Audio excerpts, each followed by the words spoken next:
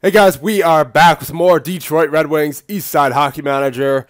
And if we take a look at the player stats here in the league, you can see Sergei Fedorov second in the league in points, 62 points in 40 games.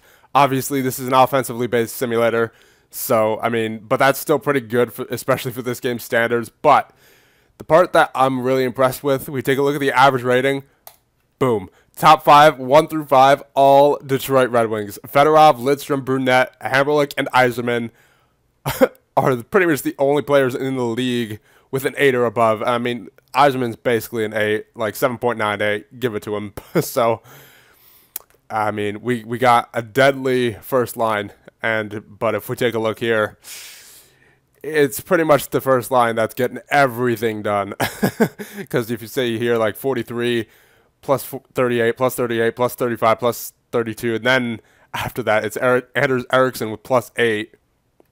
Then plus 3, plus 2, plus 1, plus 1. Even, even, even. And the two of those are goaltenders.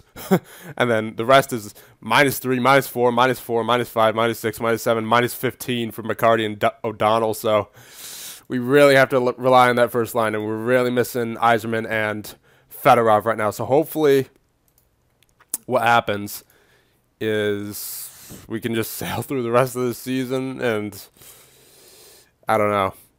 But yeah, Osgood is in there.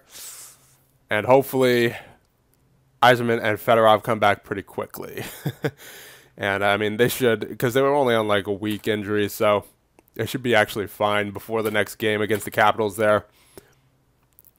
And we are now on January 1st. So actually, think what I'm going to do, yeah, we need to do scouting. And uh, obviously the board is delighted with everything going on. And uh, let's see the scouts. So how's Mark Lead? He's on the short list. These guys, are they... So, yeah, we do need a better... That's another thing. We do need a better scouting team because our best scouts have like an 80 for scouting ability. I'm going to put this guy in the next opposition. And this guy, 82, yeah, I'll put him into the draft. Yeah, we, we really need a better uh, scouting team because our best scouts have like, yeah, low 80s. So, you know what, let's do it right now, actually. Unemployed, scout, and uh, we'll actually increase the attributes here to at least a 75 for both. Judging player ability and judging player potential. So, okay, no, no one.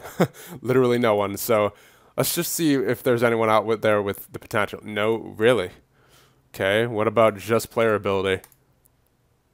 no one. Okay, so... Can't do that right now. there goes that plan. So, uh, yeah, so our best scouts have like an 80 for scouting. That's really not good, but whatever. What you gonna do? At at the moment, that's really the best we have and the best we can have for a while. So I saw someone just signed Krupp. Nice. So with his contract, he I believe yeah he gets a bonus at 30 assists. Uh, hopefully that doesn't take effect until next year because he's already at 25 assists for this year. Let's see. Fedorov resumed. Good, good, good. We need him back ASAP. So there you go. He is back in the lineup. And uh, do we have a game today? No, we don't. That would be tomorrow. Uh, Hamrlik's back. Good. So he is signed for 2.8 for the next four years after this. So that's good. We got a key defenseman back till like 2006, I believe. And then three to four loss against the Capitals. Datsyuk, Perreault, and Fedorov with the goals. And let's see. We get anyone else signed? I think uh, I think it was only Krupp and Hamrlik that we signed, right? Yeah. Yeah, because I, I don't think Datsyuk... No, we didn't offer Datsyuk. Yeah, no, we didn't. Because... Okay, so the board will allow salary up to nine hundred forty-six thousand. So he his current rating is a five-star player. So I guess what what is he marked at? Very good. Uh, I mean, what's he marked as here? He is marked as depth, so I'm going to put him as a core player for now. We'll see what happens there. Are reluctant to negotiate. Okay, so we're just not going to be able to get a deal done with Datsyuk at the moment. Hopefully he, hopefully we could get him signed before July 1st, obviously. Uh, one of our prospects is injured. Uh, that's another thing I'll do around like April. I'll check our prospect stats. So there you go. 3 nothing win against the Rangers. Lidstrom, Eriksson, and Lidstrom once again. Datsyuk with two assists. Uh, hold on. I saw someone come back. Yzerman resumes light practice. Okay. So he's close to getting back. But still not enough to take him off the IR. Uh, Crowley except okay. Was he a scout? Yeah, he was a scout. Okay. Do we have a game here? Uh, Yzerman, attitude praise, pellet praise. Yep, always got to do that. See, game against the Oilers, it looks like. Yep. Here we go. There you go. Shootout win. Brunette and Brown with the goals, and Lidstrom with the goal in the shootout. Get us the W. We are now at 30 wins, actually. And uh, 5 to 1 win against the Blue Jackets. Da Datsyuk, Brashear, Brown, Fedorov, and Eriksson with the goals. And we just keep rolling. We just keep rolling. How many games has Osgood played in a row? Probably a lot. Uh, Yzerman's back. Good, good, good. So you know what? Since Yzerman is back, that will be a good opportunity to give Osgood a break if he needs it. No, he's good. He's good. But uh, obviously still need to get Yzerman back in there. And, ooh, he's apparently dropped to superb rather than a star like he was last episode, I believe. So that I don't know if that was a, as a result of the injury or whatever, but okay. So who's got the lowest Spasiev? Yeah, he's got a 602. So at least he brought it above a five. But so where's Spasiev at? Right there. Get Yzerman back in there. And Osgood will keep playing. So do we have another game against Blue Jackets? Yeah, we do. We lost in OT. Eriksson and Perreault with the goals. So we got a point out of that. That's good. And I believe the Blue Jackets in this world are still in the Western Conference. Yes, they are. So good win right there. Or uh, not win, but good uh, good game right there. Just get all the extra points that we need and it was against a basement dweller team, so not going to be angry at that. And a 5 to 1 victory against, against the Wild. Cannot talk today. Yzerman, Datsyuk, Brunette twice, and Datsyuk again. So, good game right there. Uh, player of the week is Ryan Smyth, and defensive player of the week is Patrick Roy. There you go. And let's see, do we have against the Lightning coming up here? And that is a 2 nothing shutout victory. Lidstrom and Draper with the goals. Lidstrom on the power play, and actually Draper was an empty net. So really only one goal game right there. And uh, no game right there. Game against the Capitals. 4-3 win in OT. Okay, so Brown, Brunette, Datsyuk, and Yzerman in OT with the goal. Give us 34 wins on the season so far. I wonder what uh, Fedorov's stats are looking like. He's probably got like at least 70 points by now. Although he did just come back recently, so. Let's see, 4 to 6 loss against the Coyotes. So Hamrlik, Brown twice. Uh, Brown with a hat trick, actually. so uh, there you go. Kevin Brown, but uh, we did not get the win. Uh, no game there. I don't believe. No next game is on the 23rd against the Stars. Player of the week is Kevin Brown. There you go. Four goals and two assists. And uh, Jose Theodore is the defensive player of the week. As we go one more day to the game against the Stars. Yeah, let's see. 5 to 2 victory. Yzerman, Datsyuk, Draper, Brashear, and Hamrlik with the goals to give us 35 wins on the season. And we're looking good. Uh, Stevenson out for two weeks. Ooh, okay. Not the biggest injury we've had, obviously. but uh, still lost a forward there, so got to put Butsayev in there. There you go. And actually, yeah, Osgood's played a lot, so I'll put Flaherty in there. Uh, yeah, Fedorov with 70 points now. nice. And then Brunette was 65. Jesus, Brunette, Brunette is really boosted by Fedorov and uh, Yzerman there. And then Kevin Brown was 51 points as well. Uh, let's check average rating. So, yeah, still four players above an 8. And Yzerman almost there, 7.92. So, we're still doing well. Are we still at the top of the league for uh, average rating? Yeah, four out of the. We're still at the top four, so that's good, and then the top seven as well. That is very good. So we're still killing it, and we're actually we have 76 points. What about the Devils? They have 71. So we are currently in the President's Trophy lead. Uh, obviously not guaranteed at this point, but you know what? We are in a good position. Turner Stevens obviously out for two weeks. Well, 10 days it says on here. It said two weeks on the news article, but I guess we'll keep going. Game against the Blackhawks 3 to 1 with our backup goaltender in there. Brunette, Brashear, and Butsayev with the goals. And let's see. 28th against the Sens, okay. Uh, Lidstrom resumes practice. Did he get injured? I guess so. Must have only been a minor injury because I didn't yeah, it was a stub finger.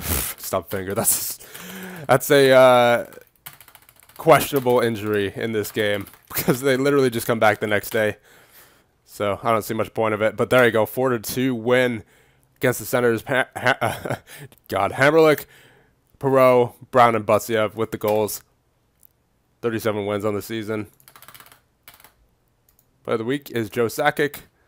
Defensive player of the week, Brian Leetch. Okay. So let's see. Game against the Flyers, five to four shootout loss, but that's fine. Point against an Eastern Conference team: Brashear, Brown, Fedorov, and Lidstrom. There you go. Looking good so far. Looking good. Uh, Yzerman suffers injury again. Jesus.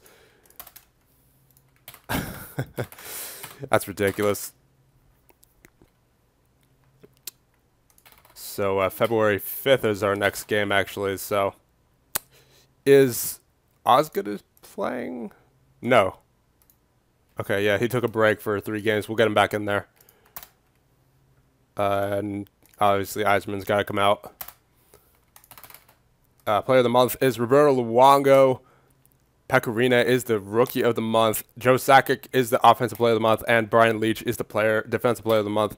Team USA looking for a general manager in Olympic hockey. Hmm. Hmm. You know what? I'll try for it. I'm not expecting to get that job because this game is really, really picky about who it selects for um, national tournaments because usually it just selects someone who's unemployed completely. Sometimes it'll select the player never know really. So board confidence update, they are delighted. Okay. Still waiting on our game against the Stars coming up here tomorrow. I believe, yep. All right. There you go. 8 to 1 win.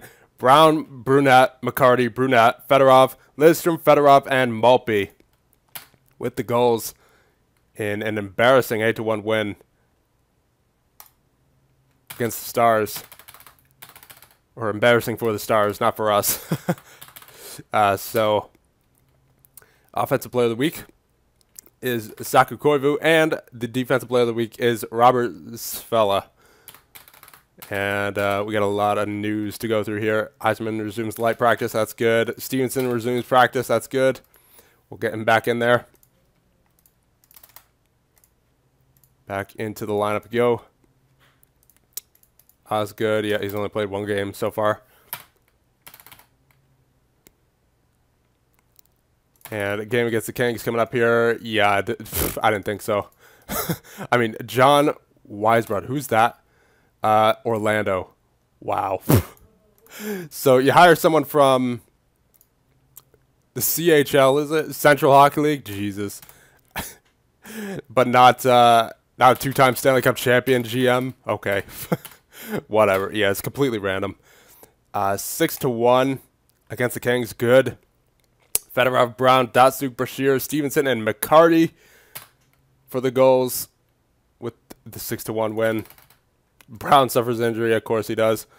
Uh, there's a laceration.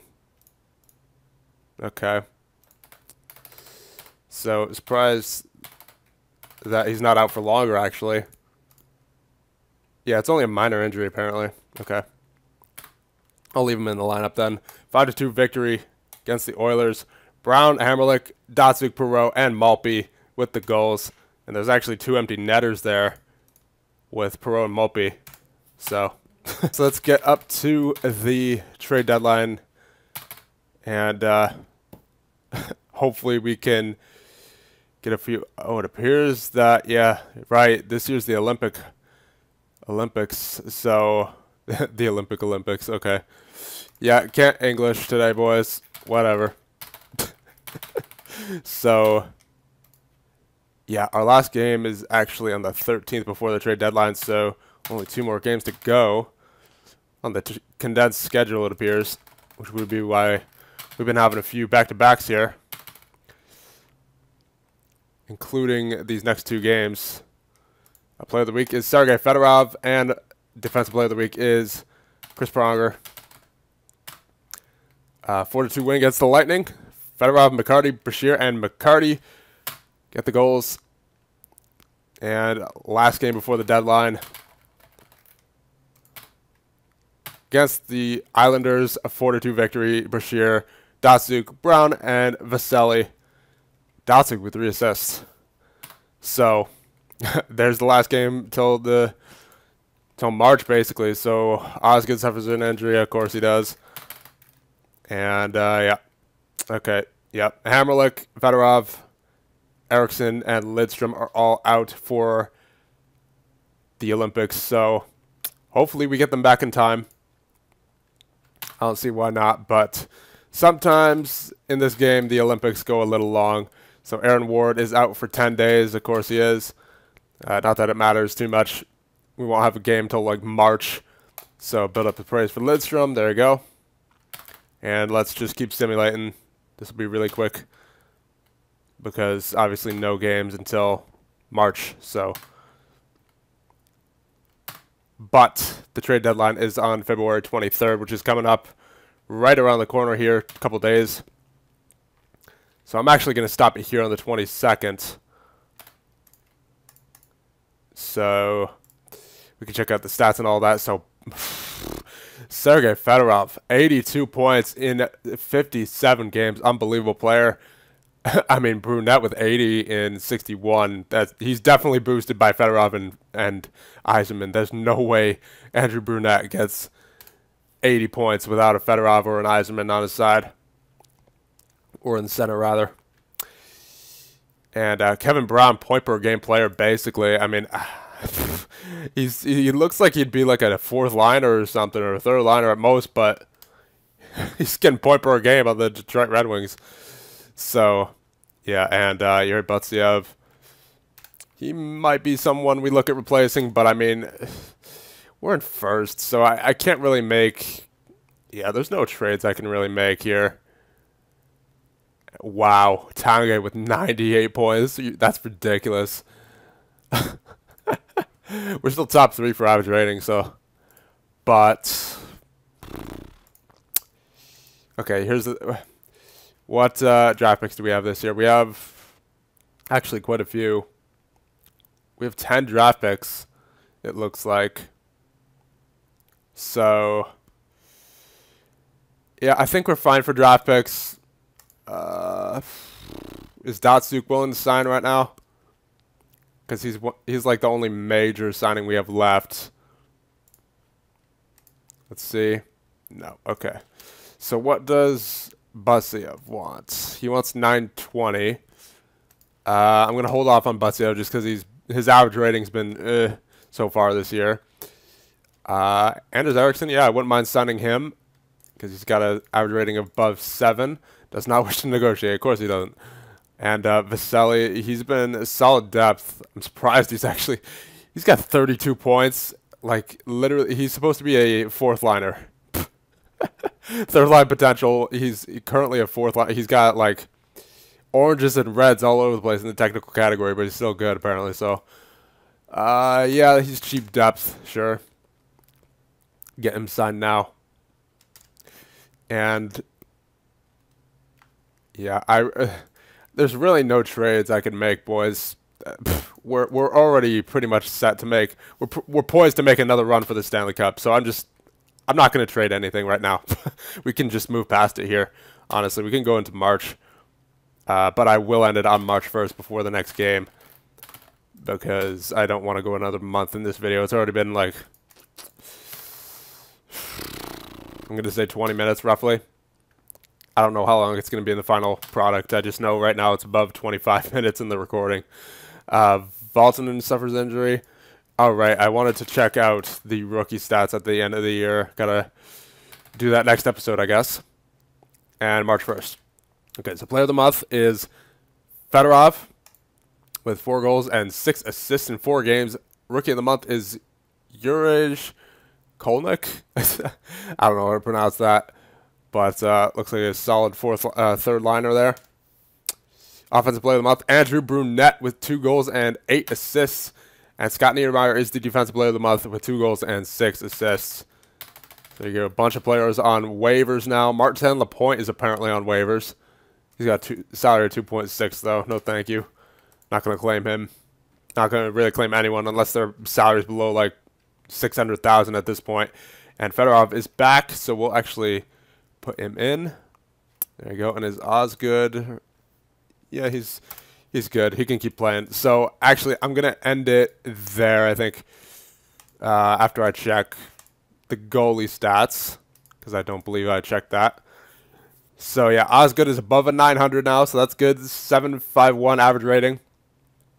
Uh, maybe we could improve Wade Flaherty, but that's about the only improvement I can think over the offseason. and maybe Butsayev. That's that's about it because we, uh, as I mentioned, we're we're poised to make another run for the cup. So we'll finish off the regular season in the next one, and we'll take a look at all the ending season stats. And I'll see you guys in the next one when we do just that. See you guys then.